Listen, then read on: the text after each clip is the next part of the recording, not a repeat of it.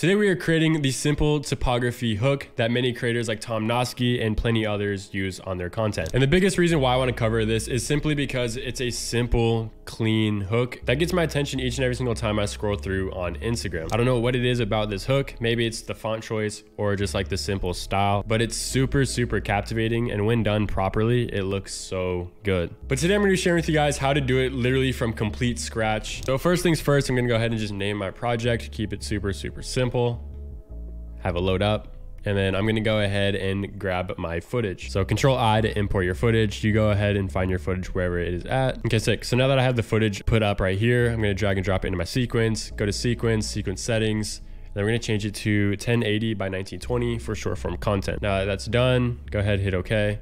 And then we are gonna resize this specific video to the frame. We're gonna do it like so. So that is simple, that is good. I'm gonna go ahead and move this over here in this little window so that way we can see a bigger view. Now, all that we have to go ahead and do is just cut up the hook. Um, so I'm, I use the C tool. Um, the C is set for cut tool. V is set for like, I think selection. And then the X tool is set for ripple delete.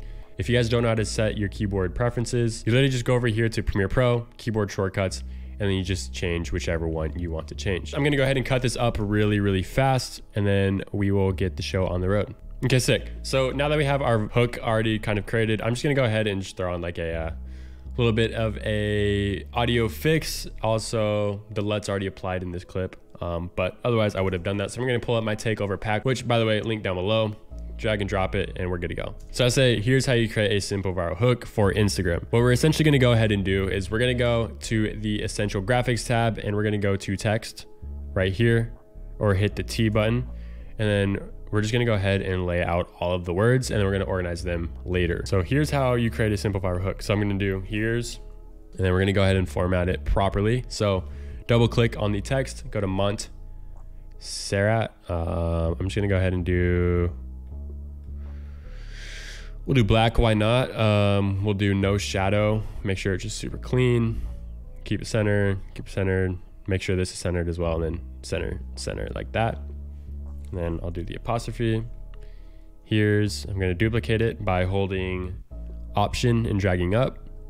And then I'm gonna do just how. And I'll go ahead and just move this down just for now. You, we're gonna go down again.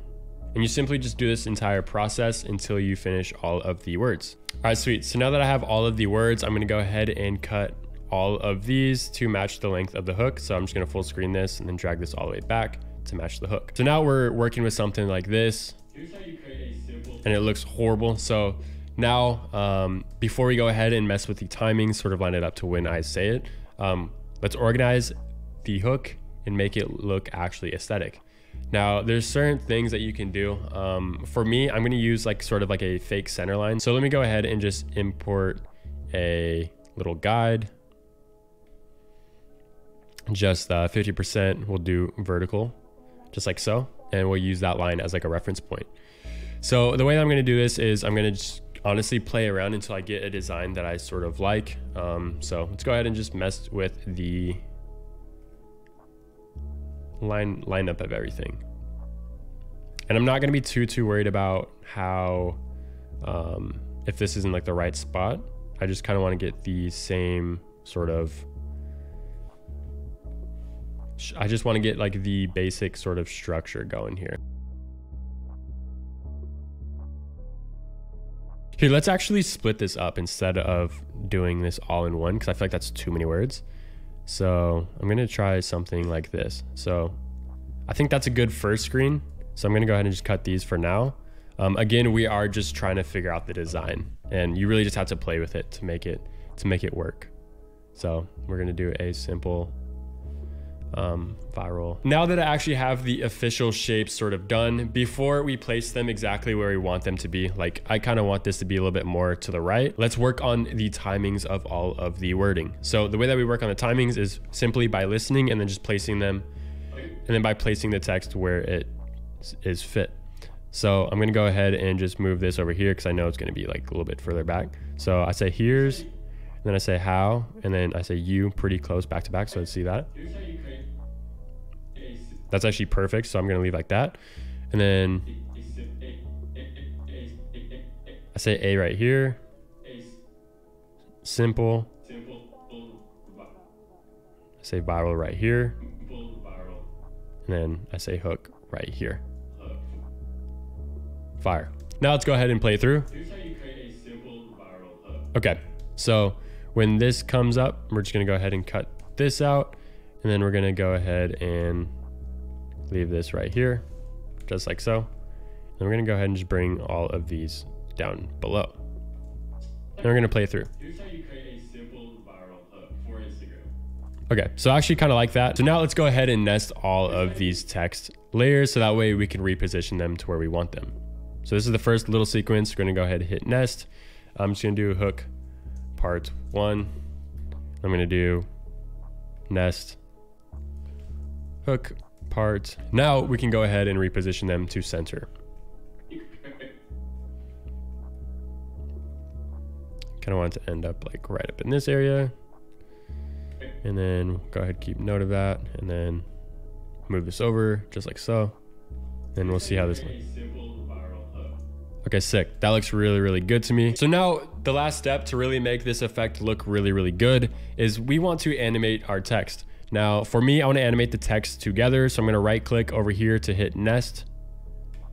And then we're going to go to effects and then transform, drag and drop it. And we're going to do some keyframing.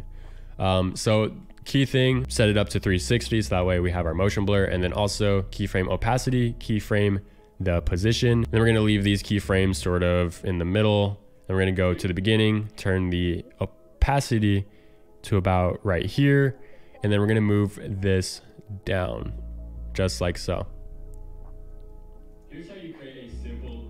So that looks very, very slow. So let's go ahead and bring it in just like that.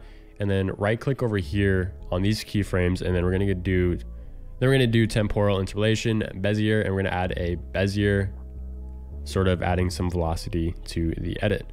Now i'm going to start off by doing that. I'm going to bring this sort of up so that way it's like a nice little curve just like so bring it up just like that and then we'll see how this looks okay so that looks horrible Okay, so that's not working. So I'm gonna go over here, hook part two. I'm just gonna make this all longer. Just so that way we can move this keyframe back and make the slide in a little bit slower. Okay, I'm actually liking that. A lot more. There we go. Money. Cool. So that looks really good, the intro animation, just like that. Now, the last step is just adding the camera movement. And this is like very, very simple to do. Drag and drop the adjustment layer, and then we're gonna go over here to transform, just like so. And then like this, go to scale, check this, throw this up. And then I'm gonna go ahead and just make it like a smooth zoom out. So I'm gonna go over here and then I'm just gonna throw this back to 100 pause. Okay, cool. Now you just select the Beziers or yeah, the, uh, the keyframes, go to Bezier and then select this. Then we're gonna go ahead and create our little graph.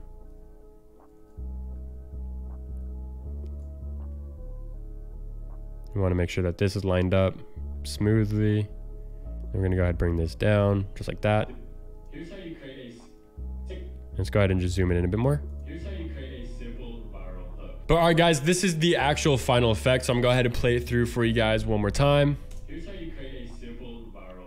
So that is the end of today's tutorial. I hope you guys learned something from this video. It's really all about just playing around, making these sort of shapes look good. And by no means am I any professional when it comes to typography. This is literally my first couple times doing this sort of effect. But that just goes to show how simple and easy it is to recreate this for yourself. Anyways, guys, if you guys made it this far into the video, please leave a like, comment, and subscribe down below. And if you want, I have an editing store designed for short form content editors just like you, linked down below. But anyways, remember, take action, take over over. I'll see you guys in the next one.